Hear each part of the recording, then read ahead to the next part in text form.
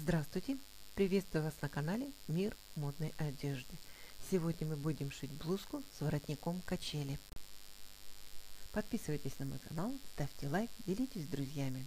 Я хочу сшить блузку со спущенным плечом. Для этого нам понадобится только выкройка спинки.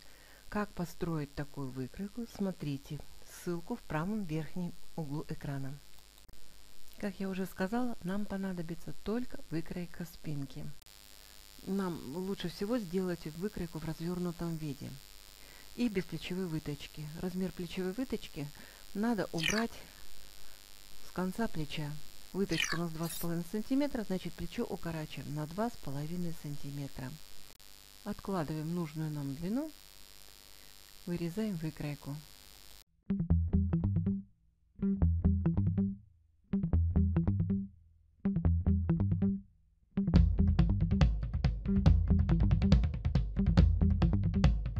Вначале мы будем кроить спинку.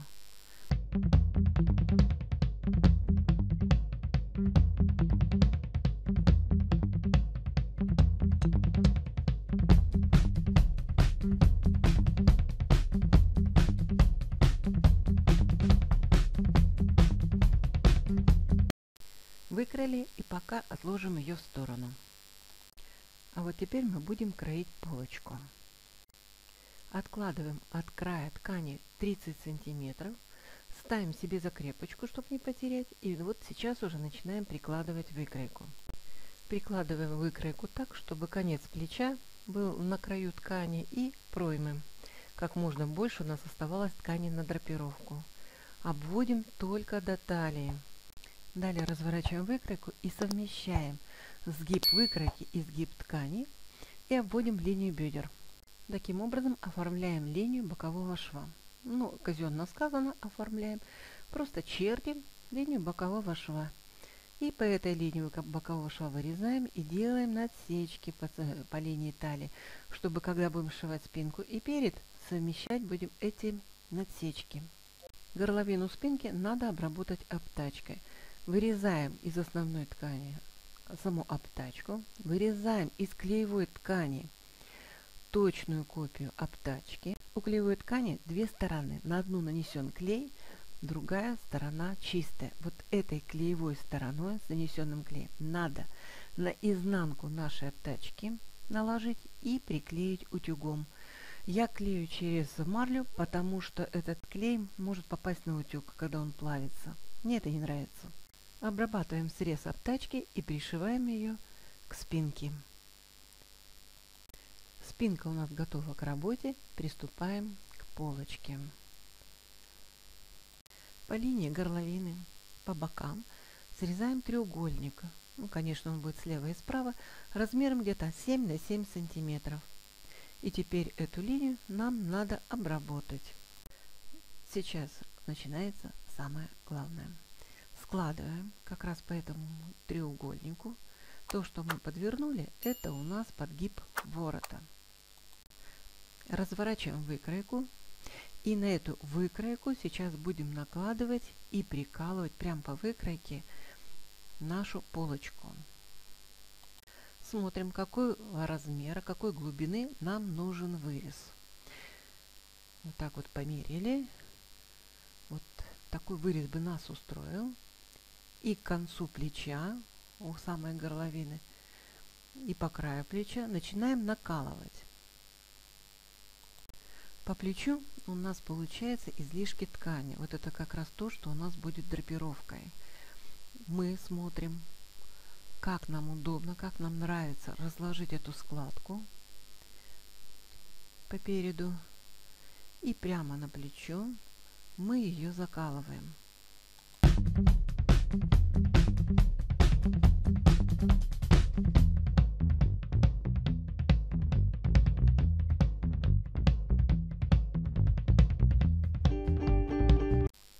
Чтобы вещь у нас не получилась кривая и косая, у нас левая половинка и правая должны быть одинаковые.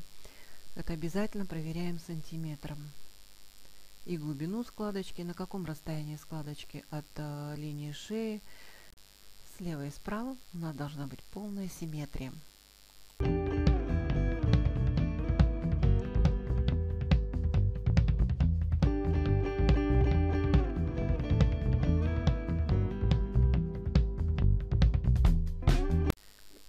Так вот разложила складочки, распределила их.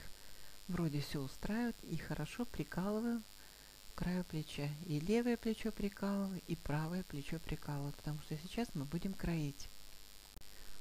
Теперь надо срезать всю лишнюю ткань, оставить только припуск на шов. Все, вырезаем. Полочка у нас готова для шитья. Для того, чтобы получилось более качественно, лучше всего, конечно, эти складки прометать. Можно, конечно, оставить и на иголках, но лучше всего прометать. Теперь мы будем сшивать перед и спинку по плечевым швам. Накладываем плечо полочки на плечо спинки. Аккуратненько совмещаем линию плеча и края скалываем и заметаем.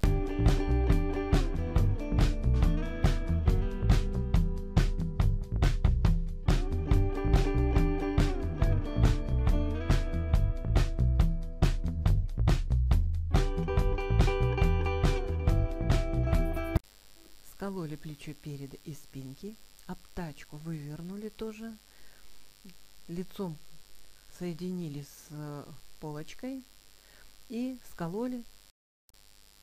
После того, как мы наметали и левое плечо, и правое, у нас получилась вот такая кофта. Сейчас нам надо прострочить эти плечевые швы и обработать их.